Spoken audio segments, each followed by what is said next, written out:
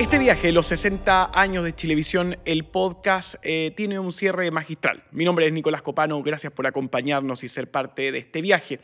Y digo magistral porque nos encontramos nada más y nada menos que en la Casa de Bello, el origen de lo que es la señal de Chilevisión. Ayer Canal 9, hoy Canal 11. Y para dialogar acerca de su presente y también de la experiencia de televisión universitaria que pronto podremos ver en las pantallas de todo el país a través de la señal que compartimos eh, con la eh, Universidad de Chile, tengo el honor de presentar nada más y nada menos que a una figura de importancia nacional para poder dialogar con eh, propiedad acerca de esto. Es nada más y nada menos que el médico cirujano con una carrera de verdad alucinante. Uno se, pone a leer su, trayectoria y es larguísimo sintetizarla, pero tiene una experiencia notable en el campo nacional e internacional. El, el señor, digo, Enio Vivaldi. ¿Cómo está, Enio? Muy bien, muy bien, Nicolás. Muchas gracias. Para mí es un placer tenerlo acá para dialogar acerca de la experiencia que tiene la universidad con respecto a la televisión y su mirada acerca de esta. Eh, quiero partir un poco con sus sensaciones cuando en el año, el año que pasó eh, entregó la noticia de que comienza un proyecto de televisión universitaria pública que es de alta relevancia en los tiempos que vivimos. Cuéntenos. Bueno, para nosotros eh, eh, se da en un contexto de grandes expectativas para Chile y para la universidad. ¿Ya? pienso que el hecho de que la universidad haya dejado de tener un canal obedece a, a, lo mejor a un momento de la historia que sería interesante reflexionar y pensar, pero se da un contexto histórico en el cual la universidad deja de tener un canal y me encantaría pensar que eh, más que una iniciativa eh, caída del cielo, es por el contrario una respuesta muy concreta a una necesidad que el país tiene de volver a contar con un canal como el de la Universidad de Chile. Y es por eso entonces que fue extraordinariamente significativo y creo que hay todo un simbolismo en, en torno a una reflexión sobre eh, no confundir el paso del tiempo, la, modernización, los enormes avances tecnológicos y también, hay que decirlo, la reflexión sobre temas como derechos humanos, como eh, democracia, ya que evolucionan, y no confundir eso con negar una historia y un raigambre histórico que yo creo que no hace mucha falta en Chile hoy día y que creo que es lo que de, alguna manera casi desesperadamente está buscando la sociedad chilena a través de estos últimos desarrollos políticos. Entonces, por eso que en este contexto nuevo en que estamos hoy día, eh, viendo al país, viendo al futuro, es de un simbolismo enorme que la Universidad de Chile diga, nosotros queremos contribuir a este diálogo nacional, queremos contribuir a estos nuevos momentos que vive el desarrollo de la ciencia, la humanidad, la tecnología, las artes, ya con un canal de televisión. ¿Puede profundizar acerca del proyecto universitario en relación al campo audiovisual hoy presente a través de Internet, como todos sabemos, en el Diario de Chile, también en lo que es la radio y en este proyecto de canal, además del ICI? Por supuesto. Eh, bueno, el ICI en primer lugar, o sea, tener un instituto a cargo de la comunicación e imagen, digamos, eh, es, es desde luego un posicionamiento de la universidad en ese plano y creo que, que se ha hecho muy, bien, sin ir más lejos. Eh, del ICI surge un proyecto de comunicaciones para la pandemia que a través de la mesa social a, la cual eh, yo pertenezco, hacemos llegar una propuesta de cómo manejar las comunicaciones en el tiempo de, de pandemia, que es un ejemplo más de, la, de cómo el, el, ICI se ubica y se inserta en la realidad chilena. En ese contexto, la universidad tiene un deber de eh, expresar una posición como universidad y quizás sería útil ahí eh, precisar algunos puntos. Eh, creo que, en primer lugar, el tema de la necesidad que tiene el auditor de confiar en quien le está dando una noticia y confiar no solamente porque es un buen periodismo, sino que confiar porque tiene la certeza de que no hay un interés creado detrás de eso. Y en ese sentido, una universidad pública, una universidad estatal, una universidad que no tiene un grupo, cualquiera este sea, por respetabilísimo que ese grupo pudiera ser, pero que no tiene un grupo detrás de ella, da una garantía de que entonces hay una visión que por lo menos no está respondiendo a intereses creados ni está prejuiciando en función de esos intereses. El otro que creo que es consustancial a la universidad en la idea de bien común. O sea, nuestro objetivo es contribuir a la totalidad del país y eso requiere un mínimo grado, por favor, de cohesión nacional, o sea, que todos sintamos que somos parte de un mismo país, que lo que le pase al país es importante para cada uno de nosotros y que lo que cada uno de nosotros hacemos se da en el contexto de la sociedad. Eso que parecía no estar muy claro hasta hace algún tiempo, eh, para quien tuviera cualquier duda, por favor, la pandemia lo deja absolutamente claro. Eh, no podemos seguir mirando a la sociedad como un conjunto de individuos, cada uno con su propio interés. Hay que verlo desde un punto de vista de un sistema, de una sociedad en su conjunto, y respondiendo a los intereses de esa sociedad en su conjunto es que la Universidad de Chile quiere plantear este canal de televisión. ¿Cuáles van a ser las características de este canal de televisión? ¿Dónde lo vamos a poder encontrar? ¿Y qué es lo que usted siente al estar de alguna manera compartiendo señal con, ustedes como concesionarios con una compañía privada? Eh, bueno, nosotros eh, eh, Ahí a lo mejor podríamos decir un par de palabras sobre, sobre la historia, si te parece, de, la universidad, como para contextualizar cómo se llega a esta alianza que valoramos mucho ¿ya? Y, y a esta muy buena interacción que hemos tenido con el Consejo Nacional de, Televisión, ya con, con, Catalina Parot y con el grupo de televisión que ha, sido muy buena relación tanto con el Consejo como con Chilevisión. Si hacemos una breve historia, nuestra universidad fue eh, la primera que generó una televisión con contenidos propios, con contenidos generados por el propio canal, en ese tiempo el canal 9 de la Universidad de Chile. Y de hecho tuvo muy precozmente un noticiario y estuvo presente ya desde el año 1960 con alguna hora de televisión semanal, pero produciendo contenidos. ¿A qué hora exactamente salió al aire el Canal 9 ese día 4 de noviembre? Si no mal recuerdo fue a las 19 horas, o sea, 7 de la tarde. No recuerdo bien si fue pasadito a las 7 o antes de las 7. Era la programación a las 7 del claro. Había mucho nervio para recordarla. Lógico, y decir, estar pendiente la hora, todo eso. Eh, en audio, por ejemplo, como decía, teníamos tres entradas de micrófono, una para una grabadora y otro para un tocadisco. ¿Cuánto duró la transmisión ese día? Dos horas, más o menos. ¿Qué hubo después de esa gran transmisión de dos horas y media de duración, que recuerdo que fue esa, largo más o menos? Mira, después de esa transmisión, eh, hubo un cóctel en, en el casino que tiene la Escuela de Ingeniería. Una vez que terminó ese cóctel, nosotros nos, veníamos como todas las, lo hacíamos todos los días después de los ensayos, a, al, un café que hay ahí en Arturo Praco, en Alameda, que era el, el Indianápolis, donde siempre hacíamos eh, críticas sobre los programas, eh, qué sé yo, y además para intercambiar opiniones con respecto a lo que íbamos a hacer. Y hay algunos hitos que son, que son interesantes. Por ejemplo, el año 62, ya el, para el 21 de mayo, se transmite el eh, mensaje presidencial, ¿ya? Y, se hace a través del canal de televisión, y es la, la, primera vez que se hace una cosa de ese tipo. Tanto más interesante, sobre todo si tú piensas en que el año 60 en Estados Unidos había tenido tanta repercusión el debate presidencial televisivo Kennedy-Nixon, ya eh, es, es, bonito que el año 64 la Universidad de Chile hizo aquí lo que fue el primer debate político en la historia del país, que fue eh, el, debate entre los candidatos eh, Eduardo Frei, Salvador Allende, Julio Durán, que eran los candidatos a la presidencia ese año. Y la idea del año 60, quien la impulsó fueron el rector Juan Gómez Millas, con Álvaro Bunster, que era secretario general de la universidad, y ellos fueron los que se preocuparon muy precozmente de hacer esta iniciativa, que habría de evolucionar en lo que es Canal 9 eh, y el canal de la Universidad de Chile. Aquí, Nicolás, si me permite, oye, y muy sentidamente, muy sentidamente quisiera hacer un, homenaje eh, con mucho, mucho cariño ya a Anisim Charín, que recientemente desapareció y que fue uno de los protagonistas fundamentales, yo creo que uno de los programas más inteligentes en toda la historia de la televisión, ¿ya? en que eh, estaba con, con, Jaime Badel, con, con, con, con Badel, con Celedón, con la, la, Delfina Guzmán en La Manivela, que fue un programa icónico de la televisión chilena y que Anisim Charín era un personaje extraordinario realmente, ¿eh? realmente extraordinario y una persona tan querida a través del Teatro Ictus.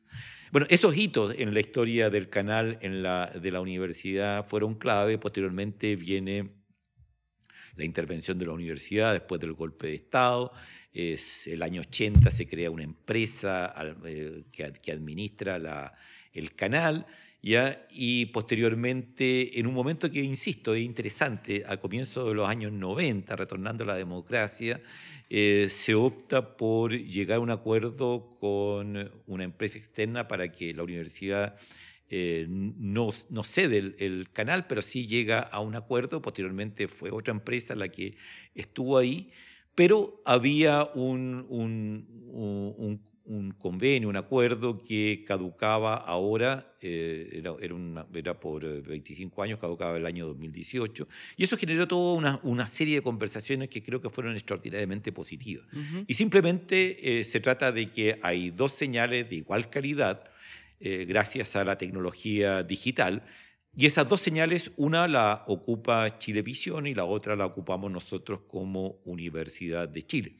Así que eh, hemos, hemos desarrollado hasta ahora un excelente ejemplo de política de, yo diría, no bueno, sino que muy buenos vecinos. Ha sido muy, muy eh, fácil, fluida la relación y la idea es que nosotros tengamos eh, nuestro canal como Universidad de Chile en una señal de óptima calidad eh, la Universidad de Chile eh, tiene, conserva, digamos, su derecho en una cantidad muy, muy importante del, territorio nacional y, la, Chilevisión ha ampliado ese radio de tal manera que la cobertura que van a tener tanto Chilevisión como Universidad de Chile es enorme a lo largo del territorio nacional y eso nos tiene a nosotros muy, muy contentos y con muchas eh, expectativas.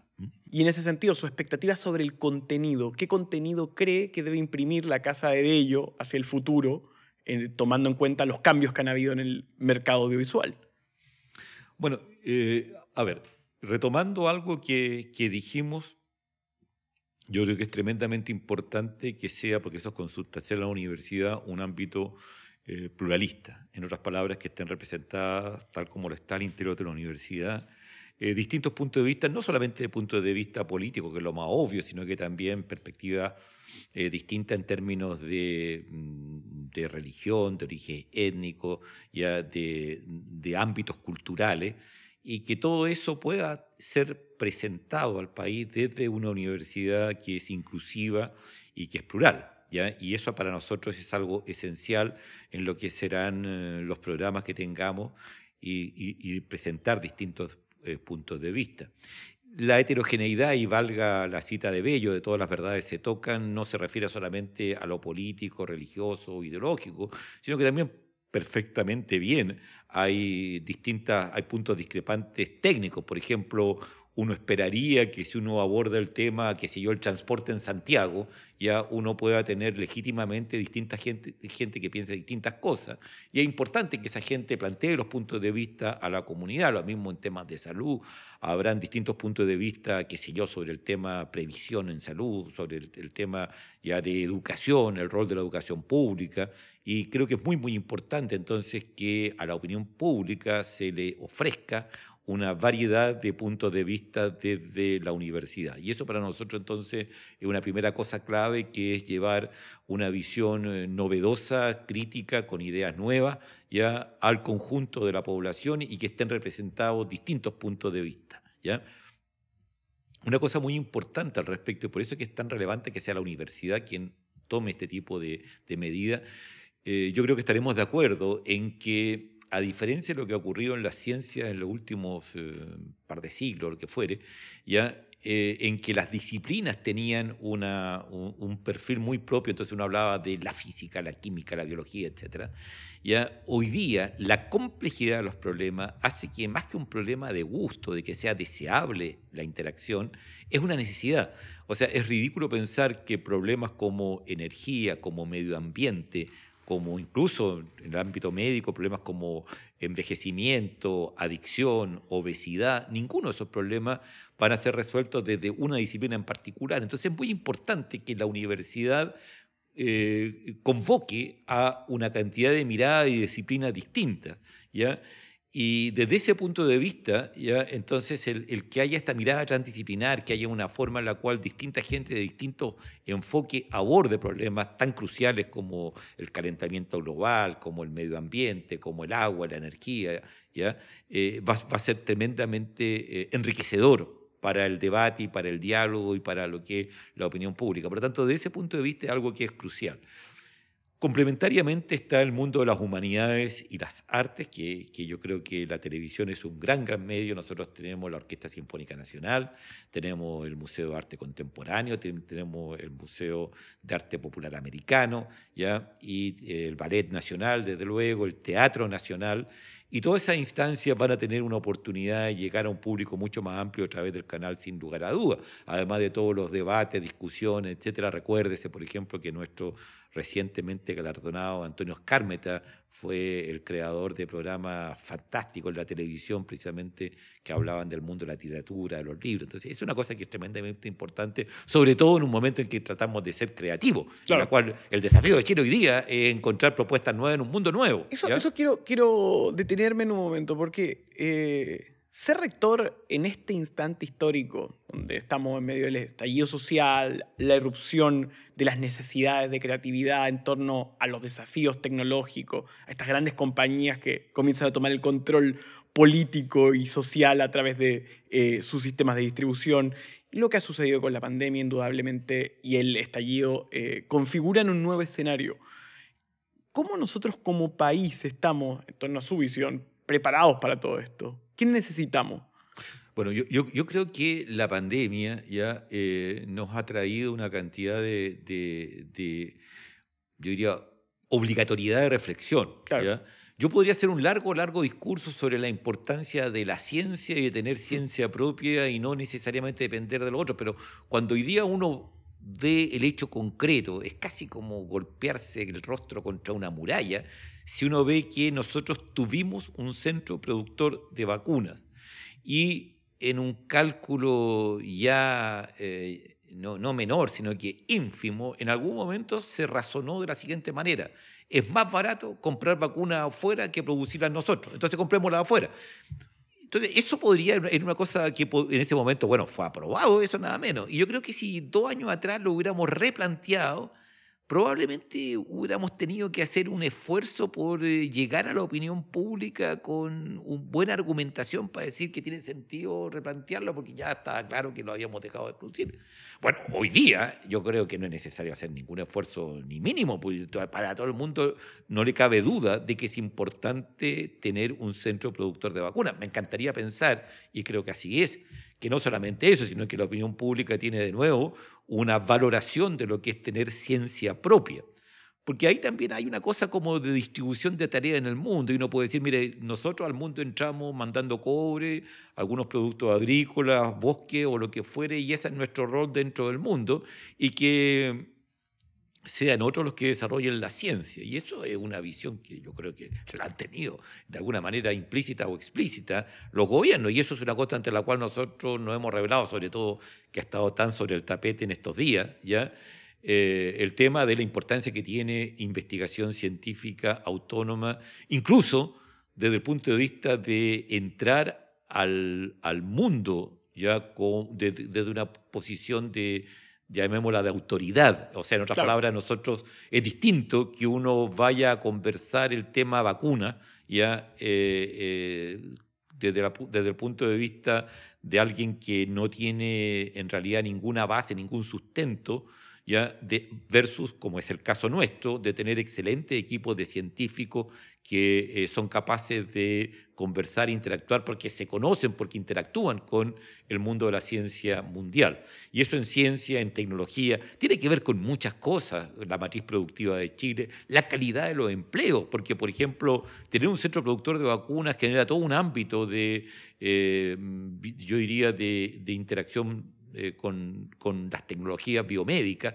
ya que son tremendamente relevantes para, para, para la calidad de empleo que tendría el país. Entonces, son múltiples las variaciones y eso parte por eh, aceptar la ciencia. Y por eso que otra cosa, sin lugar a dudas, que va a estar presente en nuestro canal es un gran, gran medio por el cual nuestros científicos puedan eh, hacer llegar sus, eh, sus resultados, su investigación, sus temas de motivación a la opinión pública en general, a través del canal. Y en relación a lo político, lo social, lo que también es parte de la universidad. Bueno, creo que ahí claramente insisto en la idea de tener una versión pluralista, de tener una versión constructiva. Eh, yo creo que es muy importante, sobre todo, tú me preguntabas respecto al momento político, yo creo que es tremendamente importante ir generando un ámbito de que mm, mucho más relevante que a la, hora de los que hubo, ya eh, mucho más relevante que eh, la rabia que uno pudiera tener o, o la crítica que uno pudiera tener, que siempre es un primer paso absolutamente necesario para un cambio. Pero lo importante es que uno sea capaz, digamos, llegado un momento de ser constructivo y de ser capaz de tener grandes propuestas que convoquen a, mayorías nacionales y eso se logra en la medida en que uno desarrolla proyectos concretos y propuestas concretas. Entonces tiene que haber una dualidad entre eh, la emocionalidad y eh, llamémoslo, la capacidad de desarrollar proyectos basados en una actitud responsable y que se perciba que hay un esfuerzo por eh, impulsar eh, una, transformación social en Chile y que están los medios para hacerlo. Debe tener algo especial esta instancia de poder reabrir la televisión universitaria, entendiendo de que Raúl Alcardi la inauguró junto a otros pioneros. Por supuesto, pero por supuesto, o sea, eh, por, eso, por, eso que, yo, yo, quiero ser muy, muy enfático, no, es, no, es, tanto como que se haya tomado una buena o mala decisión a comienzos de los 90 y se esté tomando una buena o mala decisión hoy día. Yo creo que son momentos históricos muy determinantes, ¿ya? ¿Por qué cosa pasaba el 90 que hizo razonable que la universidad dejara su, su canal? ¿Y qué pasa el 2020 que hace más que razonable que la universidad retome un gran proyecto de eh, de, televisión universitaria. Te fijas, está muy determinado por el entorno, por el contexto. Debo decir que también hay una reciprocidad, algo hemos hecho nosotros como universidad también para generar este contento, para, para hacer ver, digamos, las limitaciones que tenía el modelo y como, como de hecho hay una dualidad. Evidentemente, por ejemplo, el retorno a la democracia es clave para la universidad cuando se produce, pero también es cierto que la universidad fue clave para el retorno a la democracia. O sea, ahí hay un juego recíproco en que nosotros no solamente somos beneficiarios de, este nuevo, de esta nueva época, sino que la universidad se, hace responsable de mucho debate, de mucha propuesta, de mucha eh, actividad que tiene que ver con cuestionar el sistema de sociedad que estaba encarnado por eh, la constitución que por una tan amplia mayoría se decidió cambiar. Estamos cerrando esta conversación. Eh, ¿Desea hacer alguna reflexión final sobre la televisión, los medios, su potencialidad, lo digital? Por supuesto, por supuesto. A ver, quizás a mí me gusta la metáfora, a mí me gusta la metáfora de, eh, me gusta la metáfora de la Universidad de Chile en particular, y quizás es válido para muchas otras universidades latinoamericanas, como una torre de construcción que es necesario tener para hacer una república que es Chile. Y destaco con esa metáfora que el rol que la universidad ha tenido escapa con mucho lo que está dentro de la definición o lo que se espera de las universidades, yo diría en el mundo, en el mundo anglosajón, en Asia, en Europa, ¿ya? Eh, por ejemplo, desde luego, uno no espera que sea la universidad la que tenga la Orquesta Nacional, el Museo de Arte Contemporáneo, el Ballet Nacional, el Teatro Nacional. No se espera eso de una universidad. Son otras las instancias que hacen esas cosas. Mucho menos uno espera que sea la universidad la que cree el Servicio Nacional de Salud, como ocurrió en Chile el año 52, cuatro años después de que una misma experiencia existiera en Inglaterra, pero en Inglaterra la hace el Estado no, no, no, se lo entrega a una universidad, como fue el caso chileno, ni tampoco el rol que tuvimos en la educación, ya en las pruebas de selección a la universidad, por citar uno de mis ejemplos. Y es muy importante, si, eh, perdón, me, me, gustaría destacar una cosa política muy relevante. El voto femenino en ninguna parte fue un logro de una universidad. En Chile fue la Universidad de Chile con Amanda Labarca, Eliana Cafarena, las que impulsan el, voto femenino. Entonces, son tantas las instancias que la universidad va mucho más allá. Pero el mundo de las tecnologías, sobre todo la tecnología informática, es impresionante porque es la universidad la que tiene los primeros computadores, la que genera Internet, la que eventualmente y yo creo que son pocos países en el mundo en que una universidad es la que se hace responsable del dominio en Internet, como el punto .cl en el caso nuestro. Claro, el, el NIC Es dependiente de la Universidad de Chile. Por supuesto, pero eso es un testimonio de que, al revés, de que fue la universidad la que trajo la informática, la que desarrolló la informática. Claro. No fue el mundo ni de gobierno, ni de empresa, ni de banco, sino que fue la universidad. O sea, fue cabeza en el proyecto Reuna, supongo. Por supuesto, por supuesto. Y Nosotros iniciamos todo eso en un tiempo en los cuales yo tuve el privilegio de participar desde la Facultad de Medicina en, en- en esos proyectos. ¿Qué En fin, recuerdo tiene eso? ex- extraordinario, era una cosa de, de cuando hacíamos los, se hicieron los, los primeros enlaces, por ejemplo, eh, yo creo que nosotros fuimos el primer país en el mundo fuera de Estados Unidos que tuvo acceso a las bases de datos en directo de la National Library of Medicine, ¿ya? y lo hicimos a través de uno- una, una oficina que tenía la NASA en Chile que nos permitía hacer los enlaces.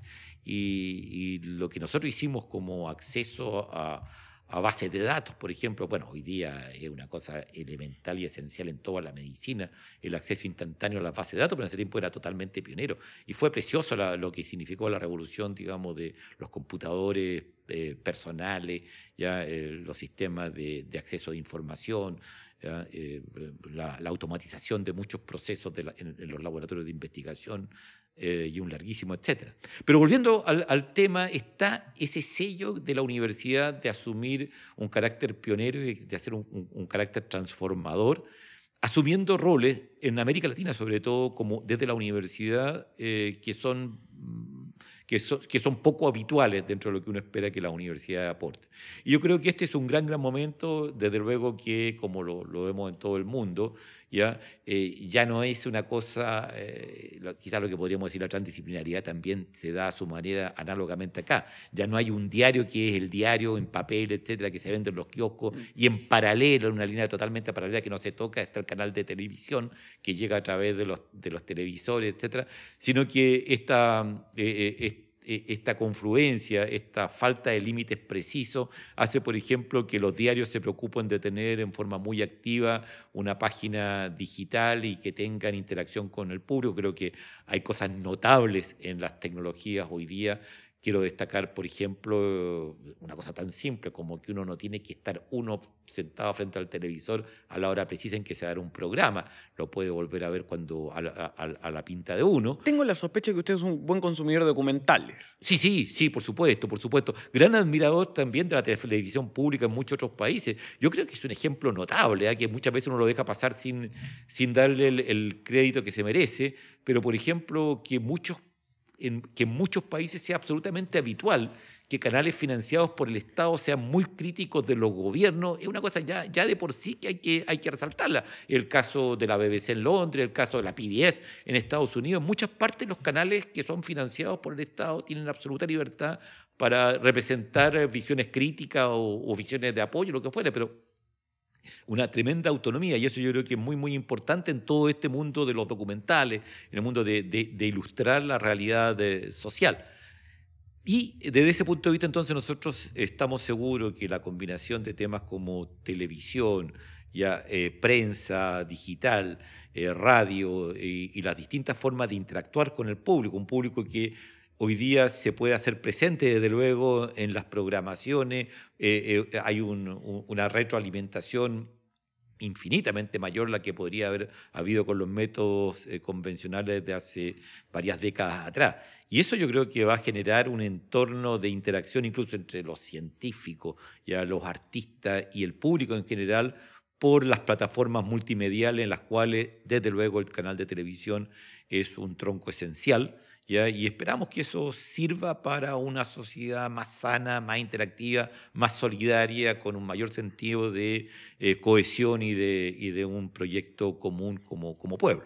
Hay, eh, y acá redondeando con los hitos de la historia del canal y en su periodo universitario, por supuesto, el lunar, que también es para toda la sociedad de la dictadura militar, y todo lo que pasó, la efervescencia de los años 70, por ejemplo, la toma de la señal, la discusión a propósito del Canal 6 y el Canal 9, y eh, los exonerados que finalmente nunca retornaron al canal a pesar de que hubo una promesa por parte de diversas entidades democráticas que sí iban a volver. Lo conversamos junto a Antonio Freire en su momento.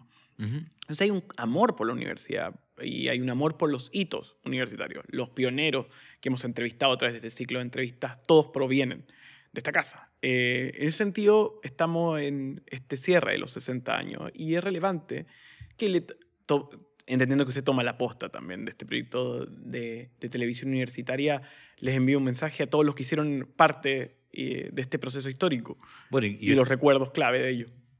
Bueno, desde luego yo estuve interactuando con, con muchos de ellos en estos años, en estos, en estos pocos años, ya eh, algunos encuentros muy, muy emocionantes de, lo, de los pioneros fundamentales que han estado en el ICI, que hemos tenido posibilidad de hacer diálogos, conversaciones, etc.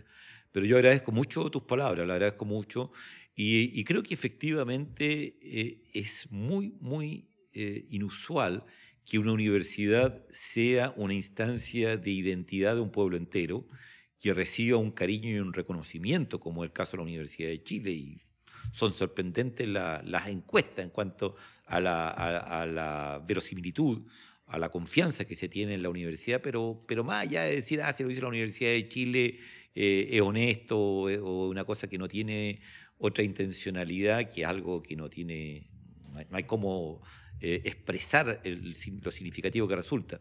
Pero también lo otro que tú señalabas, que hay un, afecto real de la gente para con esta casa de estudio y yo creo que eso es algo que nosotros nos hace ser tremendamente responsable y creo que en el caso de la televisión eso se plasmó, digamos, y creo que eh, fue, muy obvio la partida, ah, desde los noticiarios, desde los programas culturales, desde estas distintas instancias que había una mirada eh, hacia la sociedad que era tremendamente enriquecedora. Y eso se valora y eso hace que, que, la universidad pueda hoy día replantearse esto, insisto, en otro momento histórico. Yo creo que esto tiene mucho, mucho de que en la década, en, coincidencia con el retorno de la democracia, yo creo que había como una suerte de, la palabra podría ser, en el caso de muchos, eh, no entusiasmo, sino que resignación, y a partir de esa resignación decía, bueno, estas son las reglas del juego, el mundo cambió. Y es muy impresionante como en la década del 90 y, y, la y yo creo que lo que estamos conversando de lo que ocurre con el canal ahí, es parte como que era como, como, como em, eh, extemporáneo eh, retornar al Chile que habíamos conocido y que tanto habíamos añorado durante la dictadura, pues decíamos siempre del el Chile de antes, cómo cambiaron, que los chilenos, que la solidaridad, etc. Y eso en la década del 90 se, se veía como que esto respondía más bien a un cambio epocal en el mundo. Claro, una oleada privatizadora, digamos. Por supuesto, por supuesto, en que lo privado era más importante y que había que imitar los modelos de negocio, por así decirlo, del mundo privado. Y hoy día todo eso está en un panel extraordinariamente diferente, pero también con una obvia necesidad de que no se van a copiar eh, eh, modelos, sino que eh, hay valores que se recuperan, entre otros la solidaridad, la cohesión, ¿ya? Se, se, se, valora, por ejemplo, en el mundo universitario, impresionante el discurso de las universidades, cómo ha cambiado desde aceptar la competencia ¿ah? como una cosa inexorable que produce el progreso y cambiar eso por una valoración como ocurre a todo el mundo, que mucho más inherente a la universidad es la colaboración. Y eso es una cosa, si tú quieres, relativamente atemporal, digamos, en términos de que, bueno, siempre las universidades fueron mejores en la medida en que colaborar entre ellas, ¿ya? y lo mismo que las disciplinas se fortalecen colaborando entre ellas. Hay un tema del rol del Estado y el rol de las universidades, y siempre el eterno debate presupuestario. ¿Te cree que calza las visiones? ¿Se puede lograr un punto en común para empujar proyectos como este? Bueno, yo creo que eso es lo que estamos tratando de, sacar adelante, de que eh, hubo, hubo medidas eh, que se implementaron hace, qué sé yo, 20 años, ¿ya? Eh, que, cambiaban el concepto de universidad, si, si, si quieres hablar de eso, cambiaron el concepto de universidad en que mucho más que el ambiente en que se formaban, en que uno se incorporaba al conjunto de la historia de la humanidad, si lo quiere en cuanto al conocimiento, que eso eran las universidades, que el joven que venía a la enseñanza media al ingresar a la universidad se encontraba con un tipo de problemas, con un tipo de cuestionamiento, con un tipo de mucho más, como se dice, preguntas que respuestas cuando uno analiza eh, cada, cada, cada área del conocimiento. Y eso fue cambiado por un sistema muy, muy mercantilista de, considerar que uno debía, podía endeudarse para sacar un título que iba a mejorar su ingreso. Y esa idea totalmente alternativa, digo que no tiene nada que ver con la tradición de lo que son las universidades, muy objetivamente demostraron su falencia. A mí me gusta mucho enfatizar eso, ¿eh? de que hay dos dimensiones distintas. Uno es lo que muy importante, que es lo que a uno le gusta, por así decirlo, y que ah, usando un término un poquito más, más serio, es cuáles son los valores detrás de los cuales uno está, cuáles son los principios que uno quiere, qué es lo que uno entiende que debe ser una universidad. Y hay otra dimensión que es si las cosas funcionan o no funcionan. Y yo creo que en gran medida eh, los cambios que se implementaron muy orientados a lo comercial, muy, muy, muy orientados a ver en la universidad negocio, tanto en el sistema de préstamos como en el sistema de financiamiento, como en el sistema de los negocios que habían detrás de eso, eh, eso, ese sistema demostró que no funcionaba, que no funcionaba y lo podemos demostrar objetivamente por preferencia de los estudiantes, por tasas de graduación, por tasas de, empleabilidad. ¿ya? Entonces yo creo que eso es muy interesante hoy día, en que uno vuelve a valores ¿ya? Y, deja de lado proyectos o, idea, o idearios que demostraron que no funcionaban en la vida real. Eh, ¿Cuándo podemos ver esta nueva señal? Eh, vamos a empezar a verla a fines de diciembre, en el mes de diciembre se va a ver la nueva señal y va a ir progresivamente aumentando sus horarios semanales. Bueno, para ir cerrando, su mensaje a toda la comunidad universitaria y a todo el país a propósito de este nuevo eh, emprendimiento de la universidad que tiene de alguna manera raíces con lo que pasó en la historia de Chile y que hoy vuelve a ser parte en esta aventura de los 60 años de televisión. Sí, bueno, eh, una reafirmación de nuestros valores y principios que para nosotros siempre estuvieron muy vigentes, pero que, que era eh, difícil de implementar en, en un país eh, probablemente demasiado resignado a una cantidad de valores que no responden a la tradición histórica del país, a lo que es la idiosincrasia eh, de nuestro pueblo, a lo que fue la forma en que nos relacionábamos entre nosotros como sociedad, que eso tenemos que eh, recuperar esos valores que para nosotros siempre estuvieron ahí presentes.